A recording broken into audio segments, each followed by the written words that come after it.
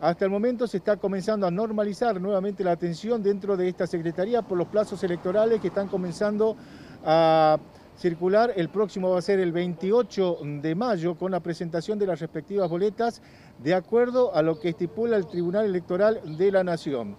Anoche se trabajó hasta pasada las 12 y media de la noche. De manera organizada se le fue dando un turno respectivo a cada apoderado de los frentes y después de recepcionar la documentación pasaban al sector de garage de, este, de esta Secretaría Electoral, donde hay una carpa especialmente montada y en donde se comenzaba a trabajar con la documentación que se le iba acercando previo chequeo o primer chequeo por parte de los trabajadores, de las secretarias, de quienes estaban a cargo de la Secretaría Electoral. Y ahora se está retomando nuevamente la tarea porque el próximo 28 son los plazos que se deben cumplimentar por parte de la Secretaría Electoral de la provincia. El movimiento en esta oficina es eh, nulo a comparación de lo que se vivió anoche. Se esperaba la presencia de algunos apoderados para ver si estaba todo en orden, para ver si surgió algún tipo de